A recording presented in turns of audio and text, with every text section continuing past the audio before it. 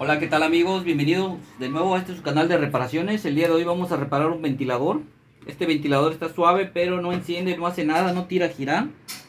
Lo prendemos en el número 3 y ni siquiera vibra, no hace nada, literalmente como si estuviera desconectado. El equipo lo tenemos conectado. ¿Ok? Ponemos cualquier este, velocidad y no, no se mueve.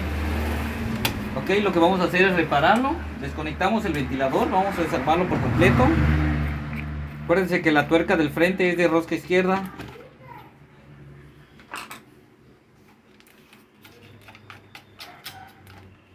Estas fallas son comunes en estos ventiladores. Puede ser de cualquier marca, siempre y cuando el ventilador no haga ningún movimiento. Se debe a que eh, se dañó un protector térmico que lleva en la parte de adentro.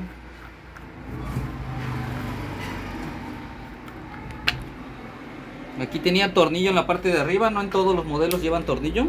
Hay que retirarle igual el que tiene en la parte de atrás.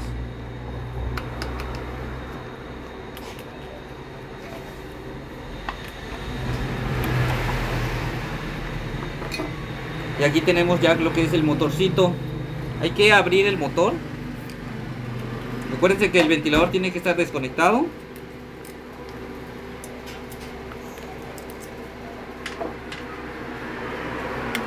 En este caso lo estoy haciendo un poco rápido para que el video no sea eh, tan tardado. Pero ustedes lo pueden hacer con un poco más de calma para que todo le salga bien. El motor lleva cuatro tornillos.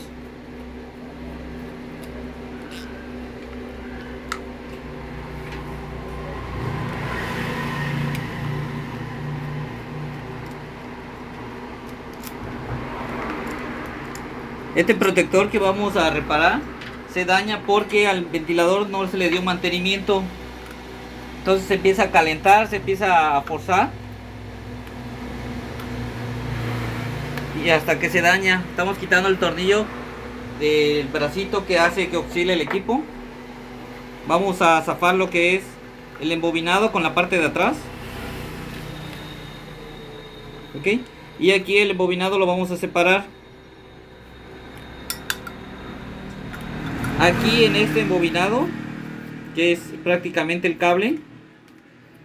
Lo primero que provocó esto es que la grasa ya está seca se ve negra. Entonces esto hay que limpiarlo hay que lijarlo y engrasarlo de los dos lados del frente y de la parte de atrás. Ahorita la vamos a retirar. Primero vamos a reparar el daño eléctrico. Aquí en el embobinado como les comento si pueden ver tiene un, pequeño, tiene un pedazo de cinta blanca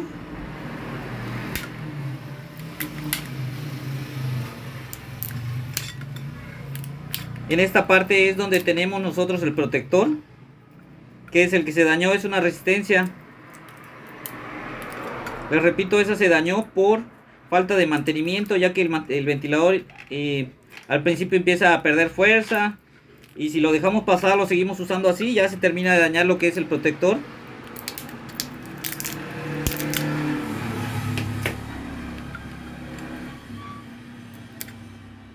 Esto hay que retirarlo con cuidado. Miren, aquí tenemos el protector.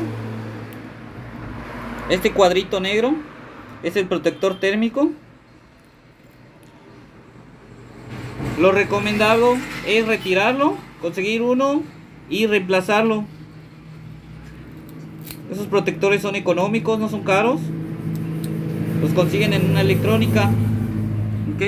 Voy a retirar los forros.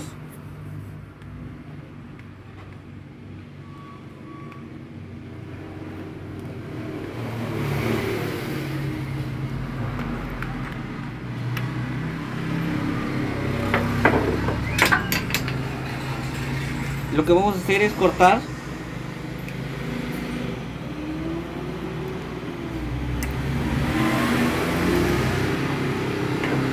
Cortamos las dos puntas del protector. Este es un protector térmico cuadrado color negro.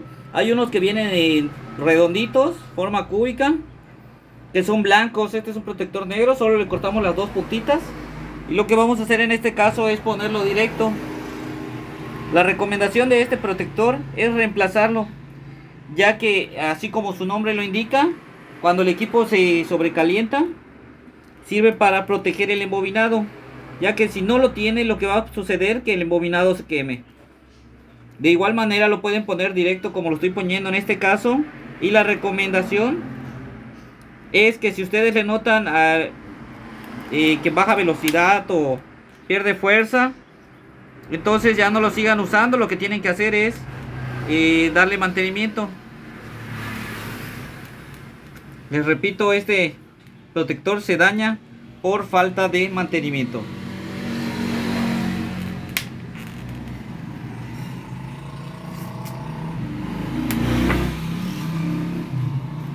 Le vamos a poner un poquito de cinta improvisado. Les repito, nosotros aquí lo estamos haciendo un poco rápido para que el video no sea muy largo.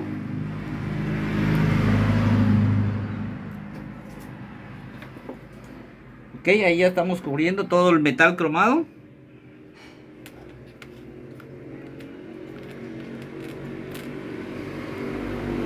Prácticamente el detalle de lo eléctrico ya lo reparamos. Ahora vamos a quitar lo que es la flecha.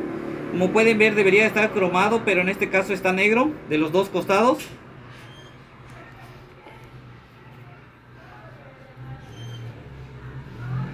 Ya es grasa quemada.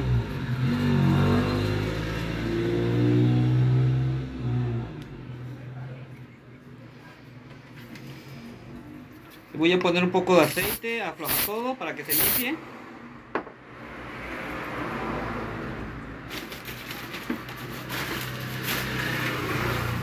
y lo vamos a lijar un poco simplemente para que no tenga el desgaste ni la suciedad que tiene ya que si solo lo suavizamos o ya lo encendemos va a funcionar pero no nos va a tardar porque la grasa dañada lo va a volver a atorar lo va a volver a amarrar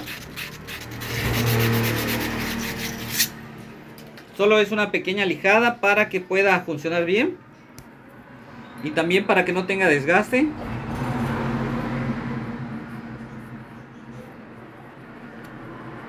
Prácticamente lo que estamos haciendo acá es darle mantenimiento. Como pueden ver aquí tenemos el buque que es el del frente. Le vamos a poner un poco de aceite. Igual le vamos a poner grasa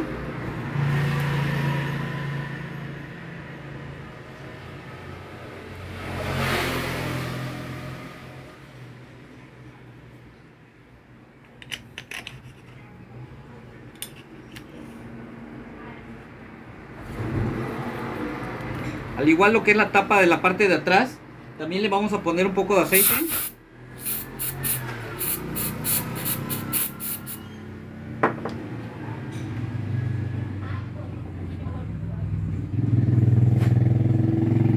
Tanto a la flecha como a lo que es la tapa le estamos poniendo grasa.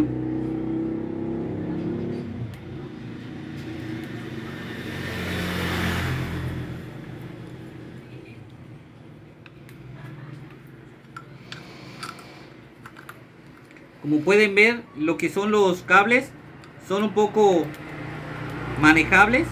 Simplemente hay que ver que no se rompa ninguno.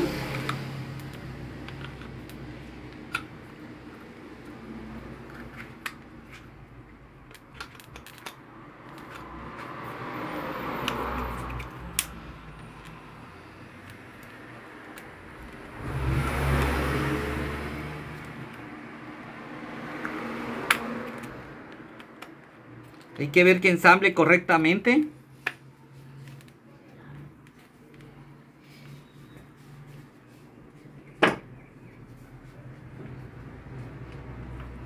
Una vez que ensamble hay que volver a ponerle lo que son los tornillos que pues, quitamos a la hora de abrirlo.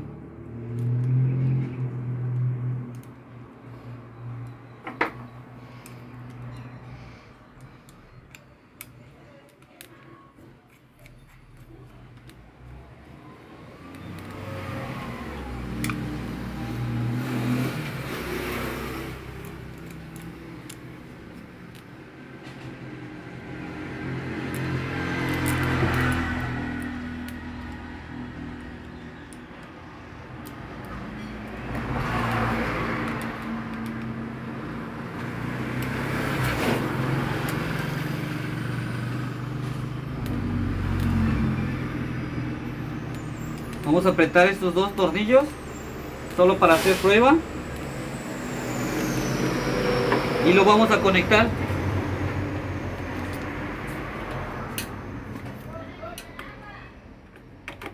ya conectado, lo vamos a encender.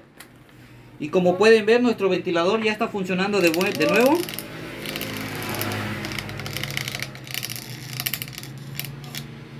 Ok amigos, lo que hicimos en este caso, la falla por la que no encendía es porque el protector estaba dañado, que es el protector cuadrado. Les repito, lo pueden reemplazar, que es lo recomendado.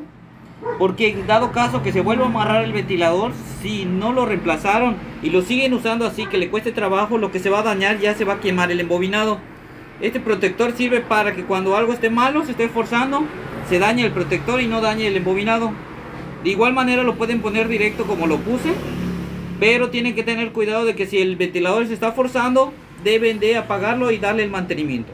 Lo segundo que hicimos fue darle el mantenimiento, que es la limpieza de la flecha y engrasado de los bujes.